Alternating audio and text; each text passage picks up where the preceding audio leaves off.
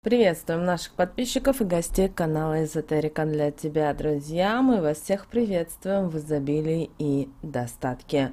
Сегодня в этом видео, друзья, мы поговорим о великом празднике, о Сретении Господне. Поговорим о том, что можно делать в этот день, что ни в коем случае, ни при каких обстоятельствах нельзя делать в этот день.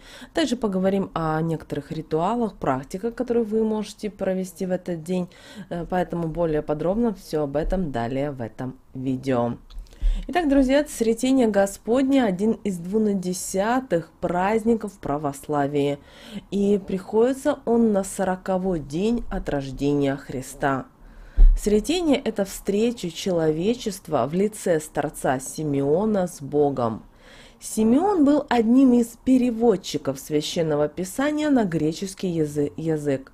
Во время перевода книги пророка Исаи Симеон усомнился в словах «Се дева в чреве приимет и родит сына, и нарекут ему имя Эммануил». И хотел исправить слово «дева» на «женщина», но в этот момент к нему снизошел ангел Господен, который заверил Симеона, что он не умрет, пока не убедится в истинности пророчества Исаии. Так Симеон жил около 300 лет и в итоге дождался встречи с Богом-младенцем. На сороковой день после рождения Иисуса Мария вместе с сыном Иосифом пошла в храм, чтобы принести Господу Богу благодарственную и очистительную жертву. Согласно Евангелию от Луки, каждый первый ребенок мужского пола принадлежал Богу, и его необходимо приносить было в храм именно на сороковой день. По закону древних иудеев, богатая женщина должна была в качестве жертвоприношения поднести ягненка и молодого голубя, бедная пару голубей или горлиц. Мария принесла пару горлиц. В храме она встретила праведного Симеона, который, взяв на руки Бога-младенца, благословил его и, обратившись к Марии, предсказал ей, что младенец выйдет на служение во имя спасения людей. Сретение символизирует встречу Ветхого и Нового Заветов – данного еврейского народу, закона Божия и нового, высшего закона божественной любви, принесенного в мир Иисусом Христом. В народной же традиции Сретение – это праздник начала весны. Со Сретением связывали надежду на весну. Считалось, что в этот день встречается зима с летом. И на честь Сретения в церквях светят водичку и свечи. Посвященная свеча э, считалась помощницей от пожара. Ее зажигали и ставили перед образами во время грозы, чтобы уберечь дом, людей и скот от пожара. Эти свечи также давали в руки умирающим во время чтения отходной молитвы. Посвященные на сретение э, водой лечили больные места и избавлялись от сглаза. Согласно народной примете, если под вечер потеплело, лето победило, а зима отступает. Ну а если похолодало, то царствовать продолжает зима. И главным обычаем на Сретение Господня, которое празднуют по церковному календарю 15 февраля, было принято посетить храм и осветить свечи, которые несут большую духовную силу для христиан. Их принято зажигать на протяжении всего года, когда читают молитву к Спасителю. Придя из храма, нужно сразу же зажечь свечу и помолиться. Она избавит жилище от негатива и бесов. Люди с давних времен верили в силу этих свечей. Они защищали дом, э, такие свечи защищали дом и способствовали богатому урожаю. Если свеча догорит до конца спокойно, то семья проживет год, не зная проблем со здоровьем.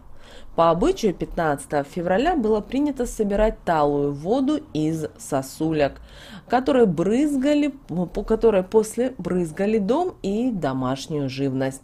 Эта традиция помогает уберечь от дурного глаза и укрепить здоровье. Можно такой же ритуал совершить и со святой водой. И освященную в этот день церкви водичку использовали против сглаза. В течение года хранили свечи в углу или же вплетали в дедухи. Такие свечи, по поверьям, обладают исключительной силой и предохраняют дом от бури, ливня или смерча. А также от бурелома или града, а членов семьи от злого глаза и болезней. Конечно же, в этот день были очень строгие запреты, которые наши предки старались соблюдать в этот день, 15 февраля. В этот день был строгий запрет выливать воду, набранную в водоеме, в раковину или унитаз. Ведь на сретине она имеет особую силу и важно ценить ее. Кроме этого, вода помогала избавиться от сглаза, порчи и ряда болезней. А чтобы домашние птицы и животные не болели и не подвергались глазу, нужно было напоить их святой водой. Нельзя было в этот день пропускать церковную службу, а после нее нужно было обязательно взять с собой свечу из храма. Если же не было возможности всю службу отстоять, достаточно было посетить храм и купить свечи, одну из которых следовало зажечь по приходу домой.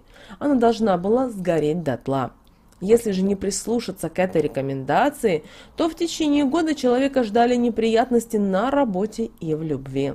Другие свечи прятались и использовались по необходимости, чтобы излечиться от болезней или призвать удачу. Но в этот день, 15 э, февраля, существовали и такие запреты. Запрещалось в этот день класть деньги на кухонный стол, ведь они могли испариться как еда, разложенная по тарелкам. В этот день отказывались и от длительных поездок, ведь отправляясь туда, вы не скоро вернетесь домой. Также на Сретении не ссорились, ведь, ведь негатив вернется в тройном размере инициатору конфликта. В доме 15 февраля не убирали, ведь в этом случае э, э, вы, э, вы освободите место под болезни и проблемы. Кроме этого, под запретом было вязание и вышивание. Мусор также рекомендовали выносить лишь на следующий день. Также 15 февраля к неудаче мог привести поход в баню. Чистое тело привлекает болезни с глаз и порчу, поэтому при необходимости только пользовались душем. На Сретенье нельзя было проводить колдовские ритуалы, и иначе считалось, что магу придется всю жизнь расплачиваться за содеянное. За поступок придется отвечать даже его потомкам. В этот праздник не употребляли алкоголь. В противном случае за один стол с вами садились бесы, которые призывали беду. И именно сегодня, 15 февраля, вы можете с помощью следующей практики избавиться от бед, неудач и так далее. Для этого Наберите 15 февраля обычную воду, стакан воды. Э, если у вас дома святая вода, это будет идеально. Но если нет, ничего страшного. Набираем стакан водички, далее отпиваем 3 глотка воды и читаем молитву «Отче наш». После того, как прочитали молитву «Отче наш», стакан с водой поставьте на стол, а по бокам установите две свечи.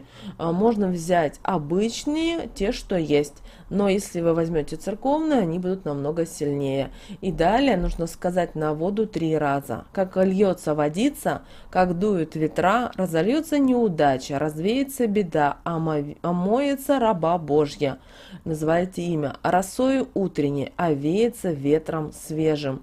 Станет раба Божья, звать имя удачливое, понятливое, все стечется, все свяжется, все заслоны и запруды разойдутся, как их и не было. Словам замок, ключ, ключом запираю, ключ глотаю, удачу призываю. Замок никто не отомкнет, удачу никто не заберет. После этого свечи должны догореть полностью, а водичку, разделив содержимое мысленно на три равные части, выпить, умыться и вы можете провести особенный ритуал для увеличения притока денег. Он достаточно сильный, что после него обязательно деньги потекут к вам рекой. И обряд этот очень прост в исполнении. Главное в нем магические слова – их вам нужно выучить наизусть, иначе не подействует. Но благо их достаточно мало, поэтому каждый сможет это сделать. Итак, 15 февраля в любое время э, дня вам нужно остаться в комнате, взять свой кошелек, открыть все отделения, которые в нем есть. И проследите, чтобы в каждом отделении вашего кошелька лежала хотя бы какая-то денежка. И далее, смотря в кошелек, скажите следующие слова. С этого дня кошельку тяжелеть, а мне богатеть. Слово мое крепко, да будет так. Аминь. На последнем слове закрываем кошелек. Это запустит обряд в действие, и ваша прибыль действительно значительно в самое ближайшее время начнет прибавляться. Друзья, вот такой у нас с вами день, 15 февраля, Сретение Господне. Обязательно проведите эти ритуалы, они вам помогут в жизни. С вами, как всегда, был канал Эзотерика для тебя. Друзья, подписывайтесь, ставьте лайк этому видео, и мы с вами услышимся уже в следующем видео.